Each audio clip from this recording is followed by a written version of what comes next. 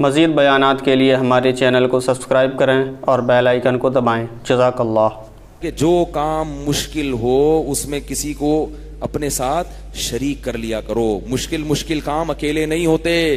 किसी को साथ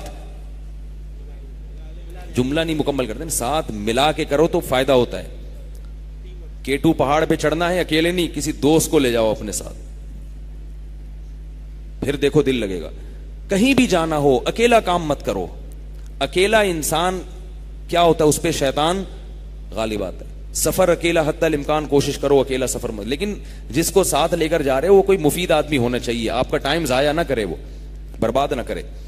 फरमाया फारसिल हुमायरिदनी इन्नी अल्लाह, मुझे डर है, फिरौन मेरी बात नहीं मानेगा। तो कोई तो मेरा साथी हो, जो मेरी तस्दीक कर रहा हो। वे कह रहा हो कि ये सही कह रहा है। और फिर हज़रत मूसा ने दुआ मांगी रबिश रहली सदरी। जब हज़रत मूसा ने कहा ना, मैंने तो कत्ल किया, मैं कैसे जाऊँ? अल्लाह फरमाया, कल्ला, तेरी बात कबूल नहीं है, जाना पड़ेगा। फिर हज़रत मूसा ने दुआ मांगी रबिश रहली सदरी वयसरली अमरी वाहलुलसानी अल्लाह, मेरे सीने को खोल दे, मेरे सीने को खोल दे तू। वयसरली अमरी, इस काम को मेरे लिए आसान कर दे। ये दुआएँ याद कर लो, जब भी कोई काम मुश्किल हो तो अल्लाह से ये दुआ मांगा करो। वयसरली अमरी वाहलुलसानी मेरी जबान की गिरा को खोल दे। हज़रत मूसा की जबान में वो फसाहत नहीं थी। जबान पे ताकत दे दे के बात करूँ तो मुझे बोलने में दुश्वारी ना हो। कई नुसबी हका कसीरा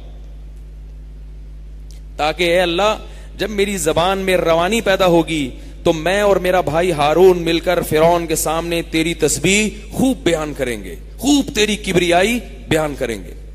तेरी बड़ाई बयान करेंगे और फिरौन की बड़ाई की नफी करेंगे। जबान अगर मेरी अटकेगी तो मैं तेरी उस तरह से किबरियाई बयान नहीं कर सकता। कई नुसबिहा का कसीरा वनदकुरा का कसीरा, ताकि मैं तेरा कसरत से ज़िक्र करूँ फिरौनियों के सामने। इन कुंता बिना बसीरा। तू हमारे हालात को खूब जानता है। कौल कद ऊती तसुल का मूसा। कैसी कोहेतूर पे बात हो रही है अल्लाह की?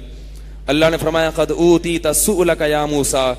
ए मूसा, तूने जितने जितने मुतालबे मुझसे किए हैं दुआएँ की हैं सब मैंने तेरी दुआएँ कबूल कर ली। मुफ्ती तारक मसूद साहब के मज़ीद बयान के लिए हमारे चैनल को सब्सक्राइब करें और बेल आइकन को दबाएँ। जज़ाकल्लाह।